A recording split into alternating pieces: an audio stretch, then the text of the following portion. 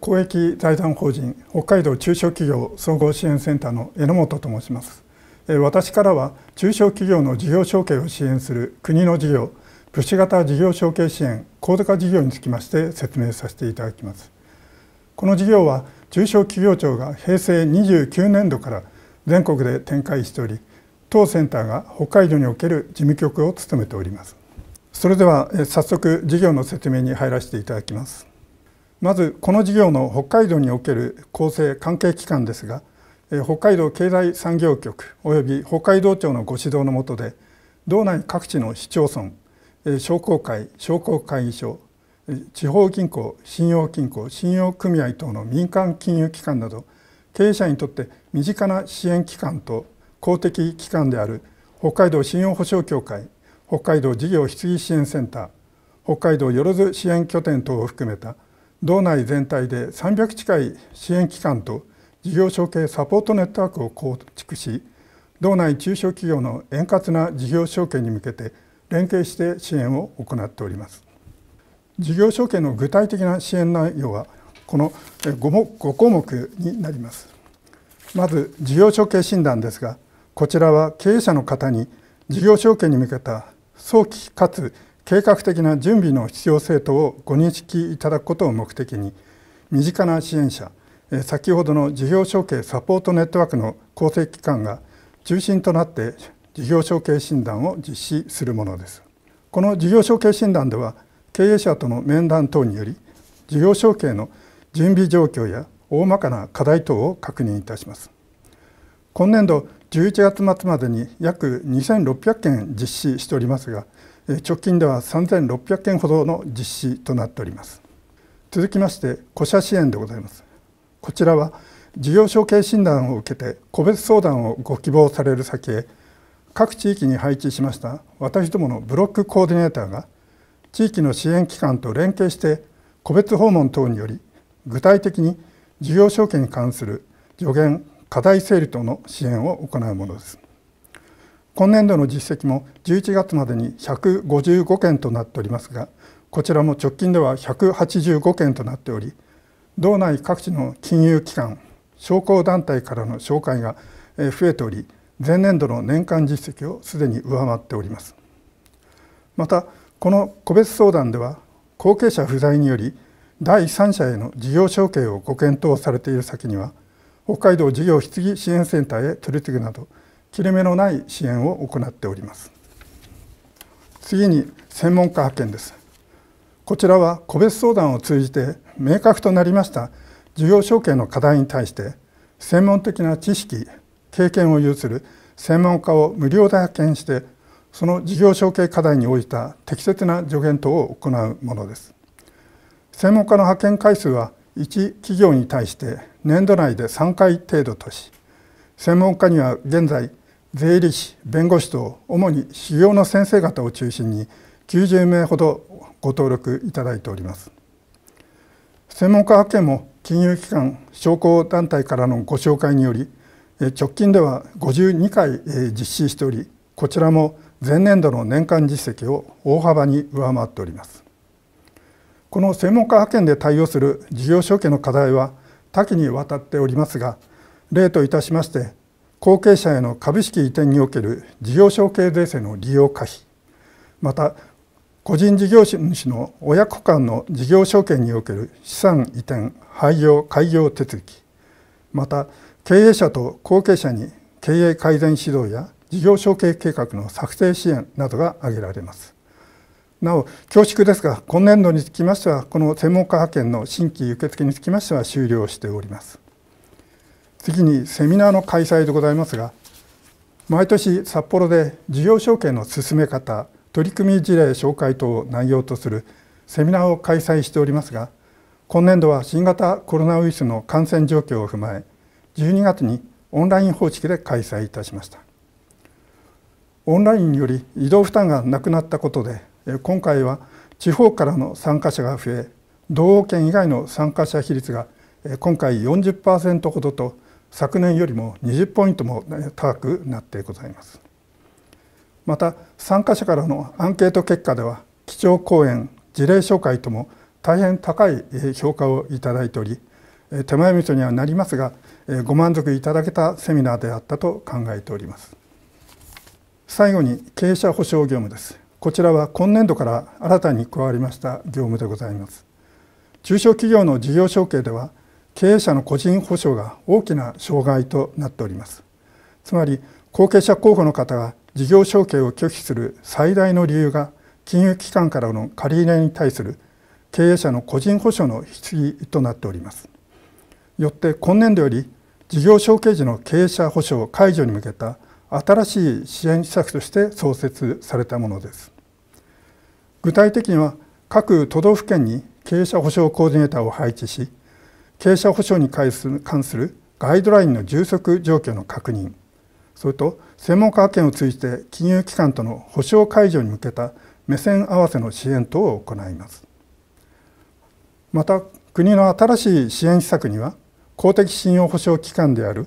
信用保証協会が一定の要件の下で経営者保証を不要とする事業承継特別保証制度も創設されており経営者保証コーディネーターによる支援確認を受けた場合には中小企業が負担される保証料が大幅に軽減されます。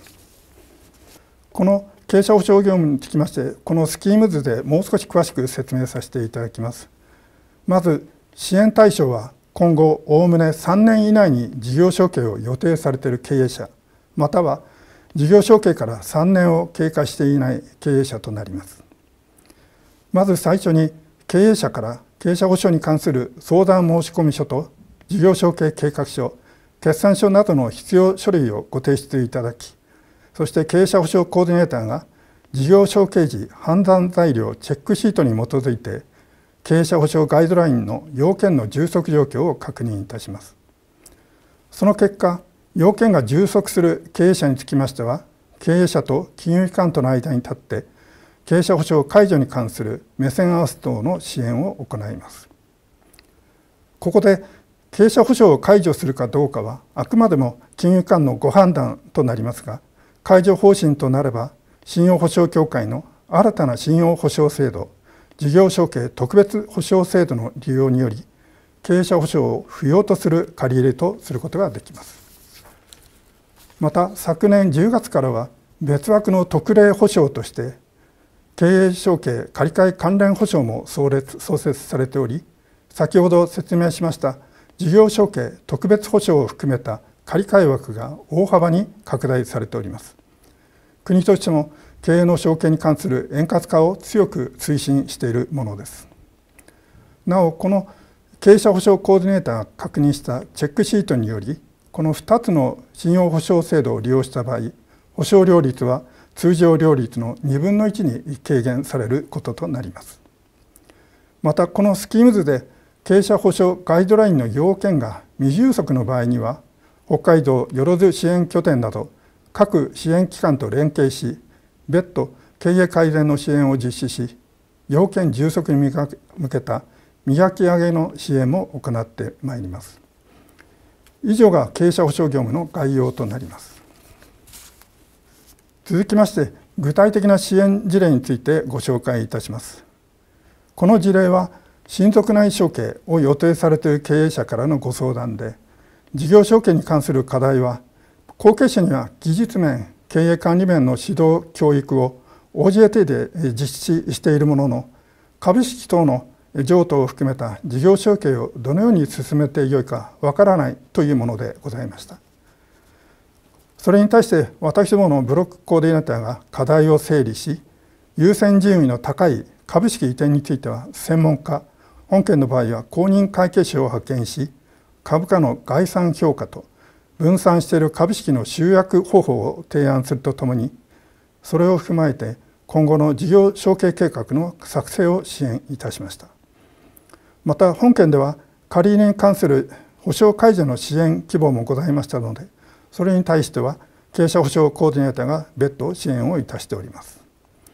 その他この事例では相談者から工場の老朽化への対応についてもご相談があり本件につきましては別な事業での工場管理の専門家派遣の利用を提案いたしました。この事例も親子間の親族内承継に関する相談事例でございます。商工団体経由で相談の申し込みがございまして事業承継に関する課題としましてはいつ後継者この場合はご長男に承継するか顧客は取引先との関係をどう円滑に承継していくかそれと持ち株を含む資産承継をどのように進めるかというものでございました。それに対して私どものブロックコーディネーターが課題を整理しまず事業承継計画の策定支援株式を含む資産を計画的に承継することを提案しそのために専門家として本件では税理士を派遣し課題解決の助言を行いました。最後にこちらは経営者保証業務に関する支援事例となります。この事例では相談者は息子への事業承継に際して金融機関からの借り入れの返済負担が気がかりであるとともに個人保証まで息子に継がせたくないと考えておられました。そこで経営者保証コーディネーターは信用保証協会に対して相談者からの事前相談に際しては事業承継特別保証制度の説明をすることを依頼いたしました。また経営者保証コーディネーターは取引金融機関に対しましてもこの新業務と事業承継特別保証制度の説明借り換えと保証料軽減措置のメリット等の情報提供を行いました。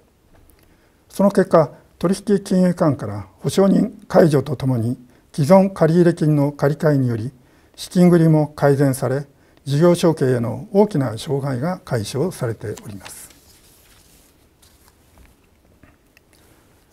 最後に今年度の KPI につきまして説明させていただきます。全国共通の目標といたしましてこの3項目事業承継診断事業承継計画経営者保証の3項目が設定されております。このうち事業承継診断の目標設定について簡単に説明させていただきます。国では全国の後継者未定先155万社を重点対象先として10年間で取り組むこととし今年度の事業承継診断目標は全国合計で16万8000件に設定しております。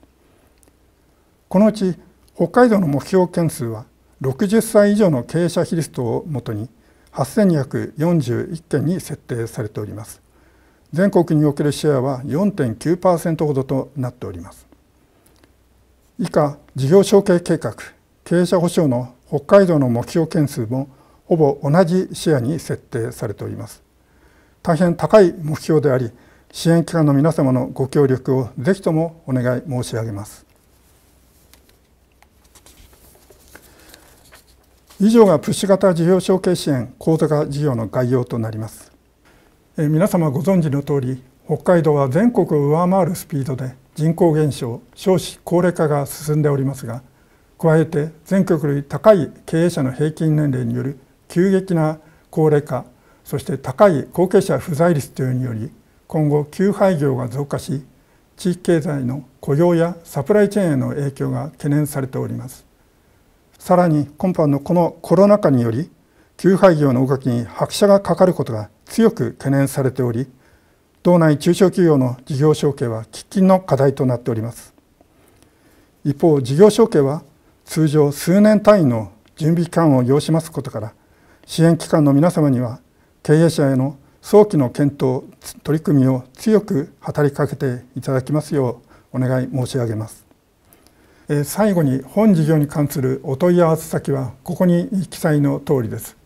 事業承継全般経営者保証業務につきまして経営者支援機関の皆様お気軽にお問い合わせいただきたいと存じます。以上をもちまして説明を終えさせていただきます。ご清聴ありがとうございました。